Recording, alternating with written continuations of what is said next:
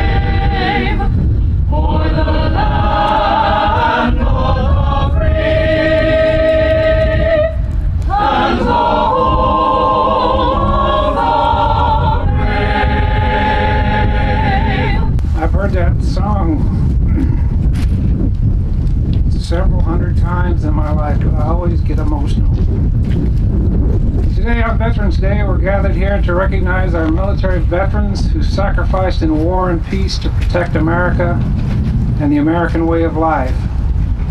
You may already know that Veterans Day began its life as Armistice Day. Actually, I should have asked you to sit down. Go ahead and take your seats. Armistice Day recognized the day the ceasefire for World War I was signed 100 years ago today, almost to the minute.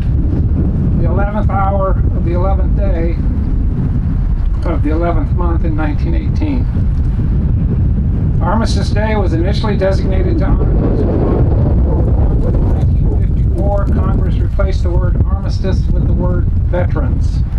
And Veterans Day was officially born as a national holiday to recognize all living veterans of the U.S. Armed Forces. But because Veterans Day and Memorial Day are dedicated to remembering members of the military, people sometimes confuse Veterans Day with Memorial Day. The difference is Veterans Day is a day to remember the living, and Memorial Day is a day for remembering all those who died in the service of our great country. So, our primary reason for being here today is to remember, celebrate, and thank the living veterans seated among us. To begin, I would like to ask Deacon Mark Kolosensky of Our Lady of Grace Church in Hatfield to open with a prayer. Deacon Kolos- Kolosensky.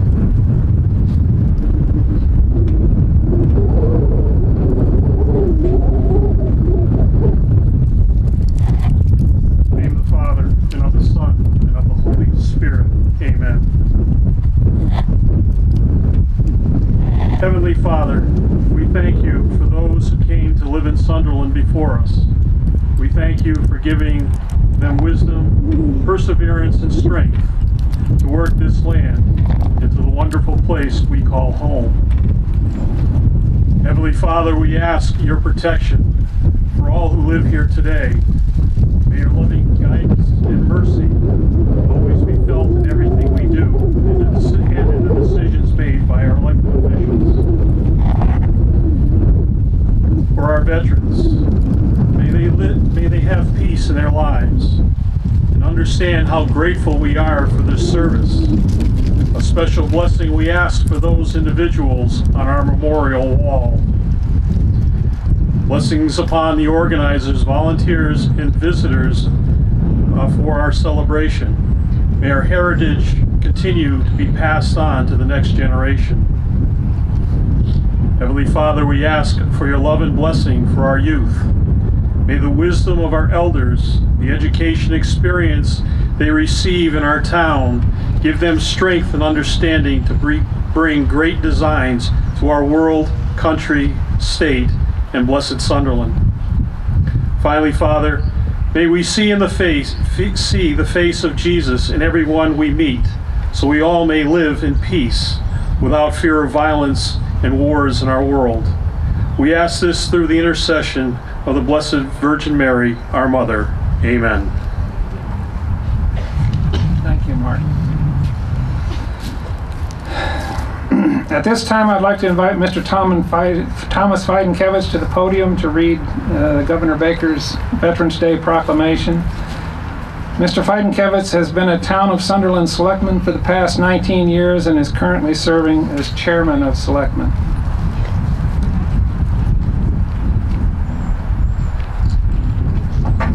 Nineteen years ago, I didn't need these. Good morning. This is a proclamation the from the Commonwealth of Massachusetts. Whereas, since the Commonwealth's colonial days, thousands of men and women have served our country in defense of freedom and liberty.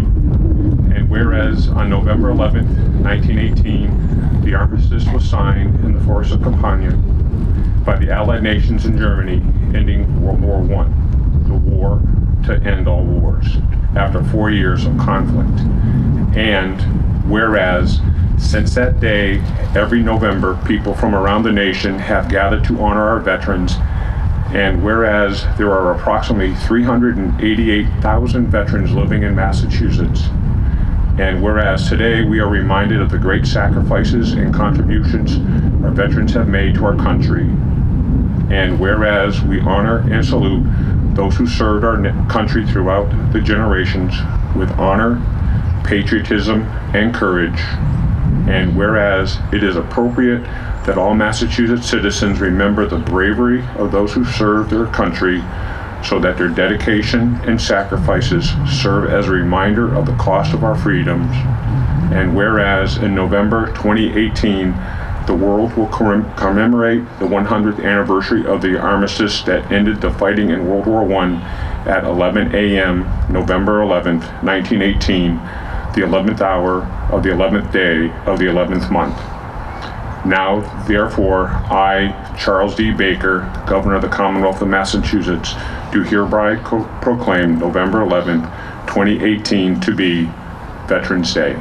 And this is signed by Charles Baker, the Governor of the Commonwealth, Lieutenant Governor Karen Polito, and Secretary of State William Francis Galvin.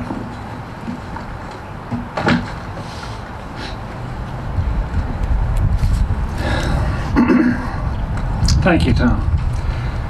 We're fortunate in that we have three guest speakers for today's ceremony. I would like to introduce the first of our guest speakers, Army Lieutenant Colonel Stephen Magner.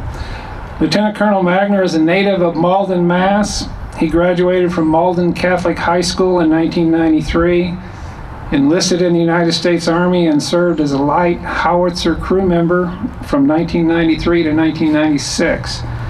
He graduated from West Point Military Academy Preparatory School in 1996 and attended Nichols College from 1996 to the year 2000. In 2000, he was commissioned as a second lieutenant in the United States Army through the Worcester Polytechnic Institute's Army ROTC program. Following his commissioning, Lieutenant Colonel Magner served in several different positions, including platoon leader, company commander, and Army staff officer. Colonel Magner's foreign assignments include one tour in Qatar, two in Afghanistan, and two in Iraq. He's currently serving as the professor of military science and the unit commander at the Army's ROTC detachment at the University of Massachusetts at Amherst. Lieutenant Colonel Magner's decorations include three Bronze Stars, three Meritorious Service Medals, one Joint Service Commendation Medal, four Army Commendation Medals, the Thailand and the United States Parachutist Badges, and the Combat Action Badge. Please join me in welcoming Colonel Magner.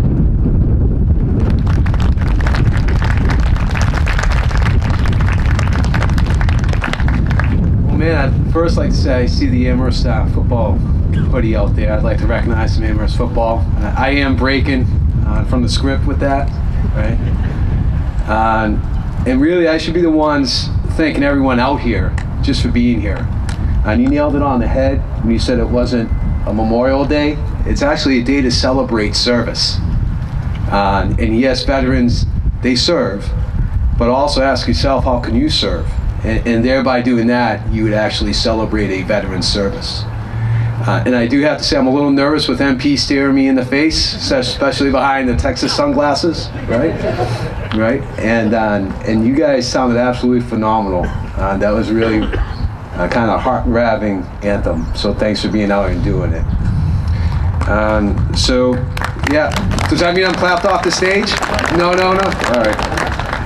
That's what my kids do when I talk too much. All right.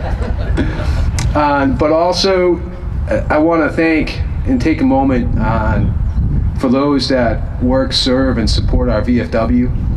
Uh, at a time where it's needed the most, there seems to be so few that serve. And so for that, I just want to thank you right here in the front row. All right. Uh, so real quick, how many people here have today off from work? Raise a hand. It's, it's interactive. All right. All right. So, so we do have a couple of hands. Uh, how many people are going home, going to a friend's home, going to a pig pole? Right? Roast, pig roast, we call it a pole, right? That's my North Carolina. Anyone? So no one's going home today. All right. All right, so I got a few hands, all right? Um, and then who here is going to grab some of the Veterans Day sales?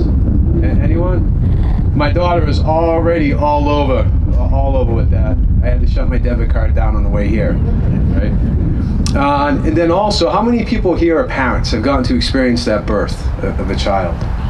All right. So every every one of us has experienced that birth and the service tied to family. That's kind of what veterans have. It's what a community like this has. That's why when I got asked to be I'm like, yes, right? It's a community event. It's like here, I got to spend all day with the kids.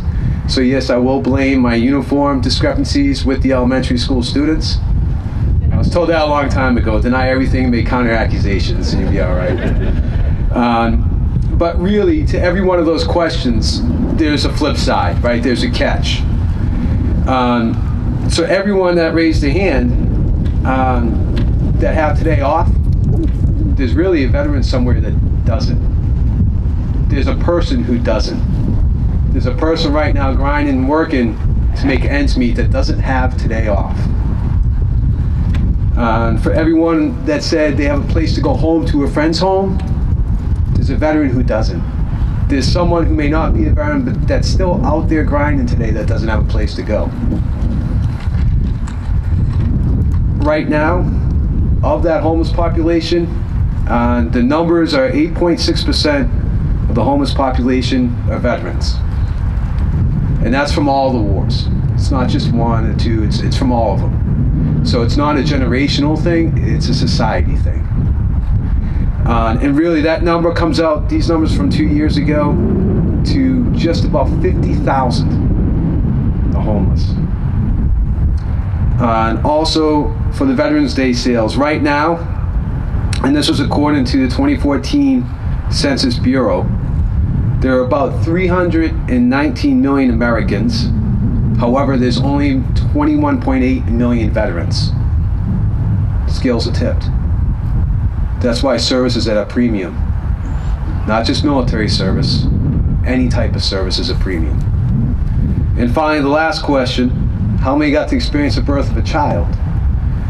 Uh, currently, just from 2014 numbers, there are approximately 7,000 casualties between Iraq Afghanistan. Uh, that's 7,000 that haven't got to experience that since that deployment. So what I ask is when you leave here today, on a long weekend with tomorrow off, please take advantage of the sales. Take advantage of the day off, put your feet up, rest in the Lord. Um, but reflect on service, not just to veterans, but on everyone. That's how you honor and celebrate Veterans Day, is by reflecting on service and then seeing how you can serve. Whether it's just picking something up off the side of the road that's near home or a neighbor's home, dang it, that's service. Celebrate that. That's what makes the country unbelievable in any other way is a call to selfless service that is experienced in everything. From youth football coaches to the youth football players. Service. They're wearing the Amherst, right? Um, so my mom told me really I can get long-winded, so I should be quiet. But I tell her, I'm, well, I was born the youngest, so that's your fault, right? Um, yeah, two sisters and an older brother. And then also, someone really smarter than me told me the best way to end a speech or a talk is with somebody else's words because, unlike anything else, deny everything, make counter accusations, not your words, right?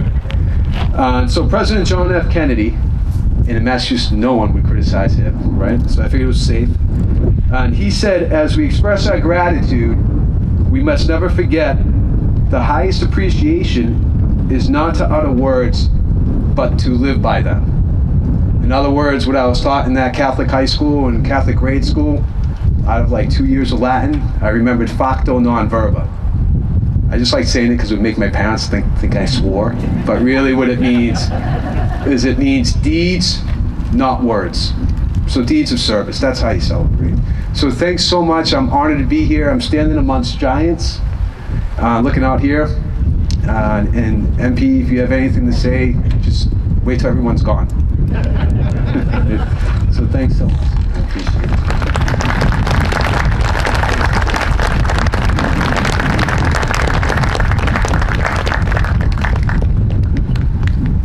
Great comments. Thank you, Colonel Magner. We uh, we sincerely, sincerely appreciate your your own service to our country. Our second guest speaker today is Mr. David Graves. Mr. Graves enlisted in the United States Navy's Aviation Reserve Officer Candidate Program in April of 1967. In January of 1970, he was commissioned as an ensign in the United States Navy on board the USS Constitution. In October of 1971, he completed flight training and was designated as a U.S. Naval Aviator. As a naval aviator, he went on to fly three different types of military aircraft the A 4, the F 8, and the F 14. In addition, during his military career, he deployed aboard four separate naval vessels the USS Hancock, the USS Constellation, the USS Ranger, and the USS Kitty Hawk. In October, actually on October 31st, 1989, at the rank of Naval Commander, he retired from the Navy on board the USS Constellation. David currently volunteers as a docent above the US aboard, excuse me, the USS Midway. Please join me in welcoming Mr. David Graves.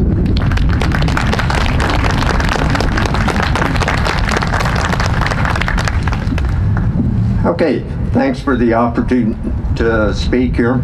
Um, nice getting back to Sunderland, although uh, I'm a little nervous, but it's more shivering from the cold than anything else. I looked up this morning and San Diego, was supposed to get up to about 78 degrees today, so uh, uh, not used to this. Okay, uh, to all veterans, uh, uh, and also to those that aren't veterans, but who are veterans? Uh, there's someone's husband, someone's wife, someone's brother, someone's sister, um, their parents, their uh, so on and so forth. But they're ordinary people uh, that we see day to day, here, there, and everywhere. Uh, but the thing that separates them is that they really do some extraordinary, extraordinary things. So, but they are regular uh, uh, people. I want to talk briefly about my brother Richie, who uh, they're going to have the dedication of the road sign here shortly. Um, he was um, almost two and a half years older than I was, and uh, uh, quite a perfectionist. Uh, I remember being out in the store and uh, Dad telling me about this uh, other farmer in town that came up to him and he said, "Hey, who is plowing that field up in North Sunderland?" And Dad said, Well, that was Richie doing that. And this farmer said, I've never seen uh, rows of plowed uh, field as straight as that was. And that was the type of person uh, he was. Uh, everything had to be done to perfection. Uh, being a naval aviator is um, a, a special uh, task and responsibility and uh, requires a phenomenal amount of uh, training. Um, I've never been so scared as my first night landing.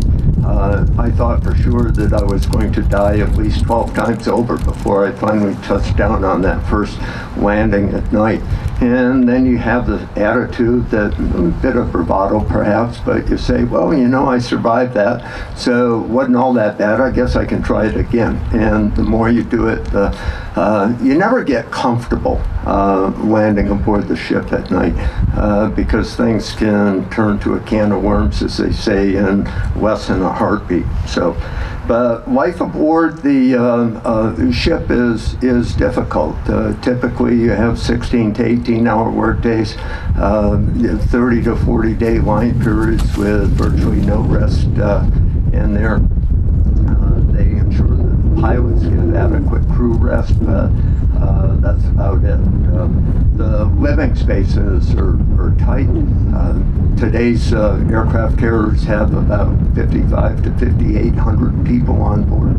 They're only 1,100 feet long, and maintaining the airplanes uh, uh, anywhere from six to 11 month deployment. So. Uh, it takes a lot. And that's six to 11 months that a father is away from his children, uh, away from his wife, and it's tough on tough on families too. Uh, the divorce rate amongst uh, uh, Navy people is uh, pretty high, and so it's a very difficult thing.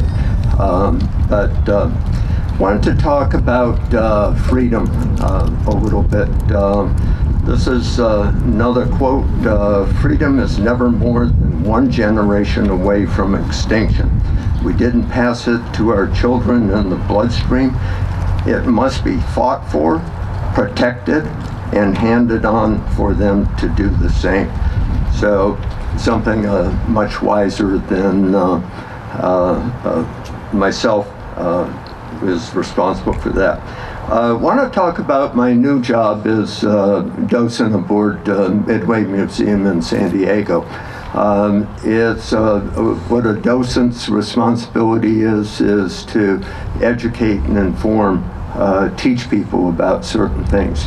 And we spend a lot of time talking about freedom and what it was like being aboard a ship so that uh, people understand what it is to serve uh, their fellow citizens and in their country.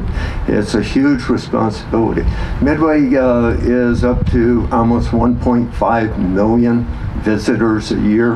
Uh, what's astounding is that uh, only about 3% of the people that visit that museum uh, know of anyone uh, in the military.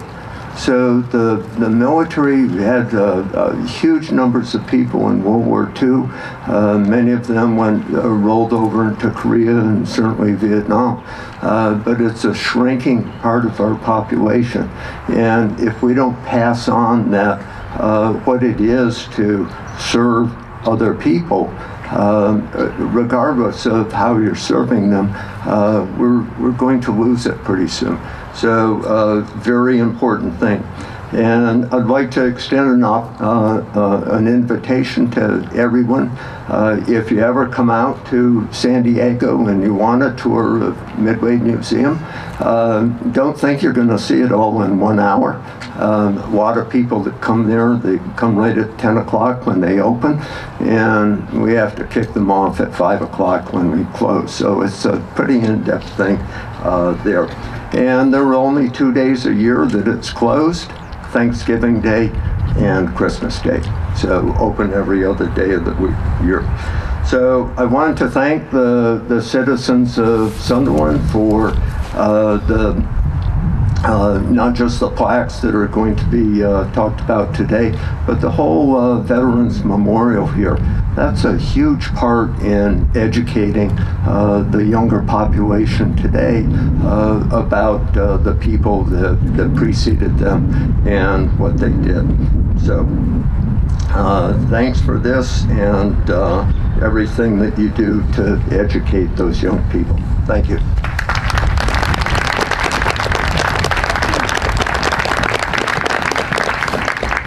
Thank you, David. Now, if you'll direct your attention to the flagpole, Mr. Michael Ahern and Mr. Kenneth Cushy will first raise the flag, actually, they'll first bring the flag down to the bottom of the flagpole, then they'll take it back up to the top, and then back to half staff. While Veterans Day is a tribute to America's living veterans and it's more a celebration, like uh, Colonel Magner said, than it is a solemn remembrance, it's still always appropriate to include a moment of respect for those who gave their lives for our country and for us. One way we show respect is to fly the national flag at half staff in memory of those who paid the ultimate price. And as many of you seated here today know that when someone in the armed forces dies while serving the country, we play the song Taps typically uh, in memory of that person. Mr. Ahern and Mr. Cushy will now lower the flag to half staff, and Mr. John Rose is going to play taps in the background.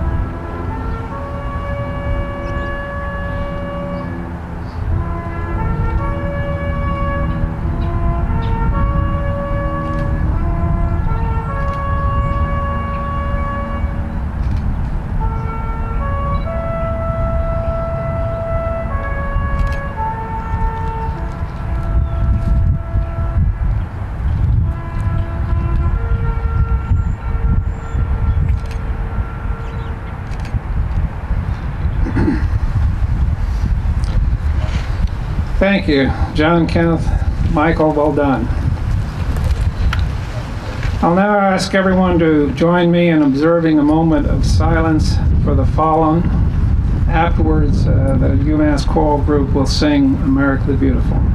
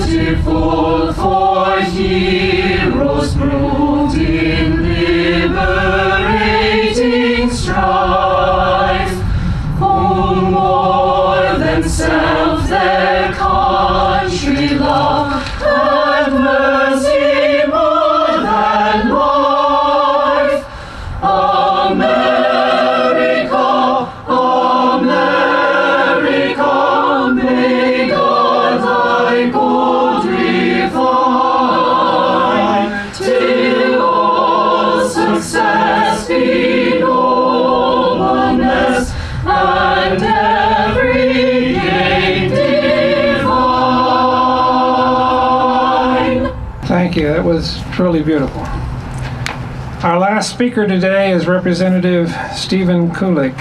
Representative Kulik was first elected to the Massachusetts House of Representatives in October of 1993. He's now in his 13th term representing the 19 towns that make up the 1st Franklin District, located in western Massachusetts counties of Hampden, Hampshire, and Franklin, and is geographically the second largest House district in the state of Massachusetts. Prior to entering the legislature, Representative Kulik served 11 years as a selectman in the town of Worthington, where he was active in many regional and statewide organizations promoting the interests of municipal government, especially in small towns like ours. He's a past president of the Massachusetts Selectmen's Association and the Massachusetts Municipal Association. He is vice chairman of the House Committee on Ways and Means and is a member of several legislative caucuses that focus on issues of importance to Western Massachusetts. He founded the Small Town and Rural Caucus, and he is a member of the Regional School Caucus, the Regional Transportation Caucus, the Manufacturing Caucus, and the Progressive Caucus. Finally, he is vice chair of the State Agriculture and Rural Leaders, a national group of legislators who work on state and federal policy issues regarding agriculture, water resources, the environment, trade, and other issues of importance to rural communities. Please join me in welcoming Representative Stephen Kulik.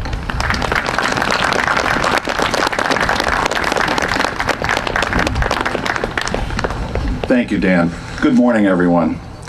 Well, this is just a wonderful turnout uh, of veterans and for veterans. Thank you all for being here. Um, I really appreciate um, representing Sunderland for the past 25 years because one of the reasons is that you have shown such respect and honor uh, for veterans and I've seen that every day as I, every year as I've participated in the annual Memorial Day observances, which uh, are some of the most meaningful and moving uh, ceremonies that I've participated in anywhere.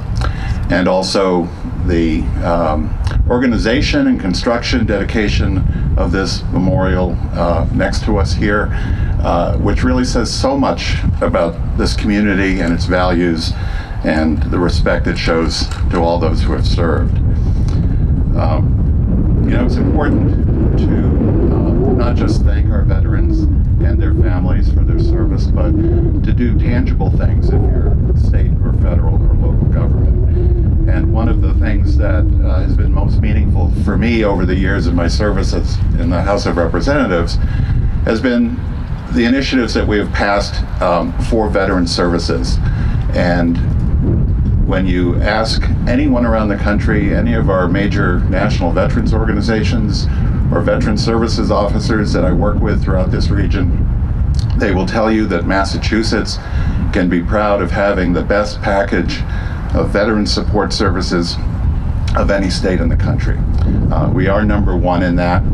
Uh, we should be number one in that, and I hope we will always continue to be number one in that because it's a way to that we can tangibly uh, show our veterans that they are valued, um, that we support them, and that we're addressing their needs, which constantly evolve uh, as, as veterans get older, as they return from different conflicts. Um, we want to thank them for their service, but also uh, give them the kinds of services they deserve.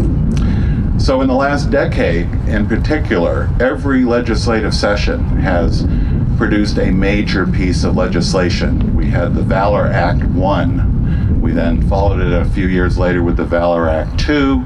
Um, we had the Home Act. And just this year, uh, we have passed, I think, the most comprehensive piece of veterans benefit legislation from Massachusetts um, in late July at the end of our legislative sessions. And it was, it's called the BRAVE Act and it was signed into law by Governor Baker uh, just this past August. So it's pretty new, and I thought I might just give you a few of the highlights that you may or may not be aware of. Uh, it's it is a very comprehensive uh, uh piece of legislation um, that affects people at the local level and the state level. So one thing right off the bat it does is it designates the 5th of April as Gold Star Wives Day and the last Sunday in September is Gold Star Mothers and Families Day.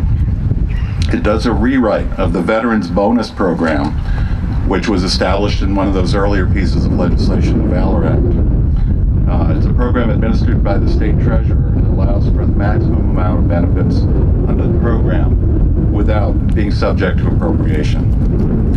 It also, and this is important in our neck of the woods, develops a Massachusetts Veterans and Warriors Agriculture Program for veterans who may wish to enter the field of agriculture, which is, uh, you know, it's always been a part of our heritage here, but it is actually growing as an economic um, activity uh, in our entire state. So for veterans who are returning from recent conflicts who may want to get trained and get into agriculture, we now have a, a program to do that.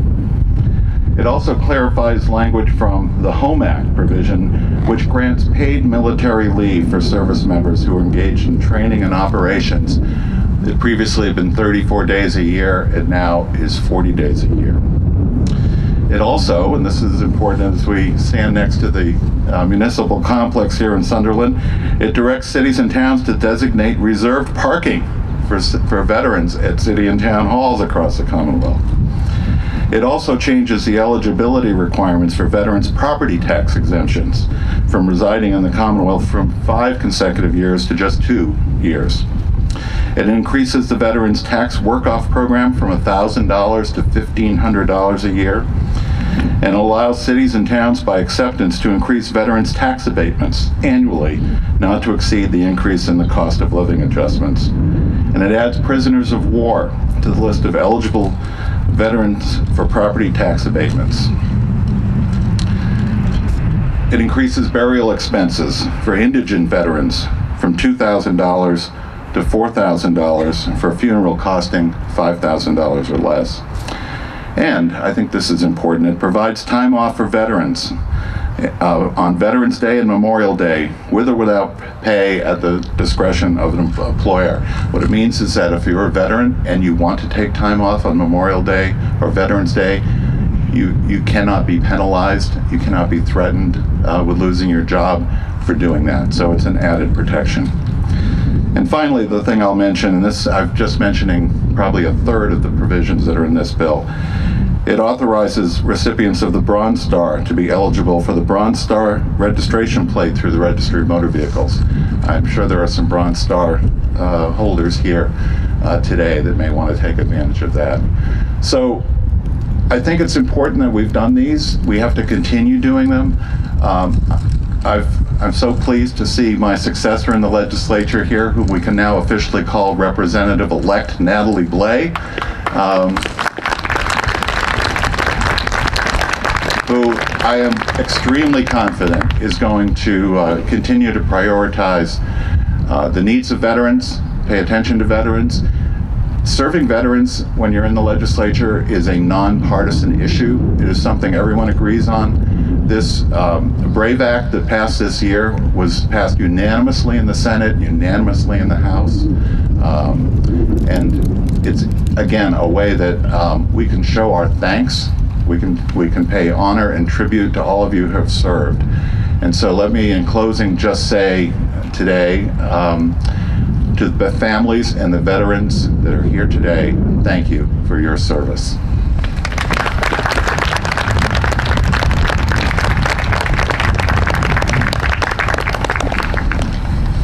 Thank you. So now I have the honor of introducing, although he's not here, a very special resident of Sunderland. Born on Memorial Day in 1923, Mr. James Williams joined the United States Marine Corps in 1942 and was honorably discharged as a second lieutenant in 1946. At 95 years of age, Mr. Williams has the distinction of being Sunderland's oldest military veteran. Unfortunately, Mr. Williams is not able to join us today. However, James, if you're viewing this, we salute you and thank you for your service. Today, we've been honoring all the men and women who've served or are currently serving our country in the armed forces of the United States. However, we also want to remember the 19 men from Sunderland who lost their lives in battle or who died from injuries suffered in battle. These men were in the prime of their lives. They were our sons, our brothers, our uncles, our fathers, sweethearts, and husbands. Their survivors suffered a traumatic experience that caused deep emotional wounds, many of which were or will be lifelong. Sunderland has chosen to remember these 19 with, the with memorial street signs. As you drive through Sunderland, you'll notice new black signs that have been mounted on or near the street signs at Amherst Road, Falls Road, Montague Road, North Main Street, Old Amherst Road, Plumtree Road, Russell Street, South Main Street, and South Silver Lane. There are samples of the sign. There's one posted over here in the uh, Memorial Park. These are the streets that the 19 lived on. When you see one of these new signs, please pause for a few minutes to remember these men and their sacrifice. As a community, we are grateful to all the people and organizations that contributed in some way to complete this important undertaking.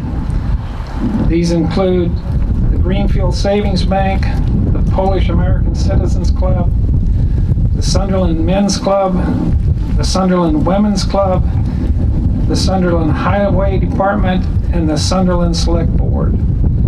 There were also several different individuals who were instrumental in this project, including Mary Ellen Ahern, Wendy Hull, Linda Lopatka, Sherry Patch, Cindy Bennett, Dan Devine, George Emery, Amy Lee Hubbard, and Robert Ahern.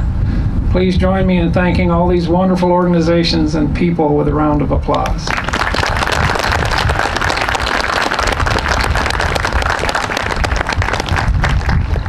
Thank you. I'd now like to ask Mr. Feidenkevitz, Lieutenant Colonel Magner, Mr. Graves, and Representative Kulik to join uh, Tom at the podium.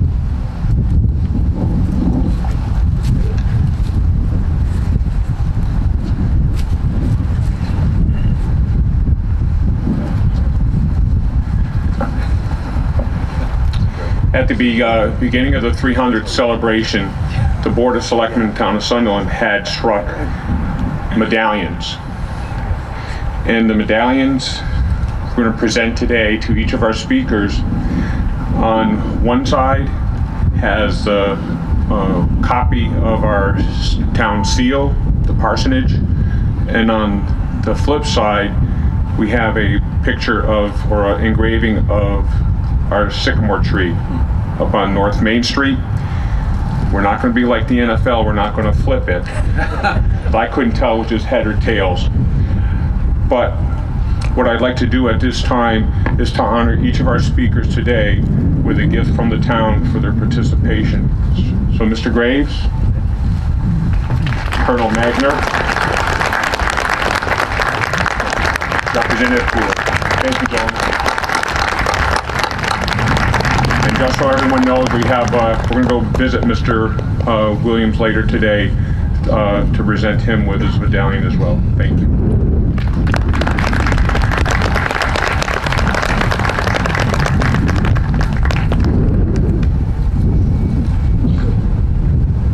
Thank you, Tom, Colonel Wagner, Mr. Graves, and Representative Kulik. Ladies and gentlemen, that concludes today's ceremony. We invite you to join us in the library for a reception sponsored by the Friends of the Library.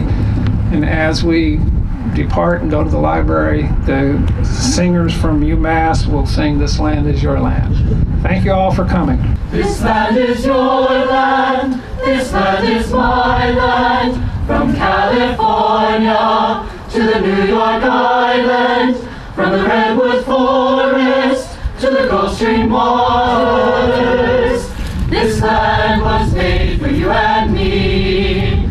As I went walking that ribbon of highway, I saw above me that endless skyway. I saw below me that golden